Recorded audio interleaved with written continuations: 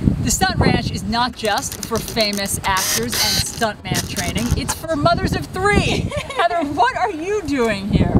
Well, yes, I'm a mom of three and also founded a company, glamalife.com. And all it's about is just helping moms reconnect with their passions.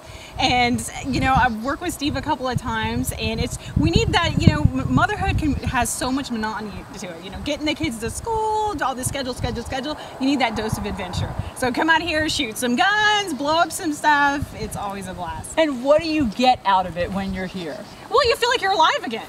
I mean, you're, you know, after spending so many hours a day in the carpool lane, all of a sudden you're running around like an action hero. You feel invigorated, you're alive, and then not to mention all the cool mom points you get with the kiddos. That's great. I like the image of you being in the car lane, the carpool lane, but fantasizing about blowing yeah. up a car. Exactly. It's like mommy could do that. um, so what's the coolest thing you've done here? I think the coolest thing has been just the explosions. I mean, they're so massive and they're just so overwhelming. I mean, even if it's, you know, 100 feet off, you feel that blast and that air and you're just, oh, you know, and you can imagine what it would be like to be on the movie set. And it's hotter than you yes, think. Yes, it is. It is. It is. Absolutely. That's great. Well, thanks for helping us today. Thank it's you. It's been wonderful. thanks so much. Excellent.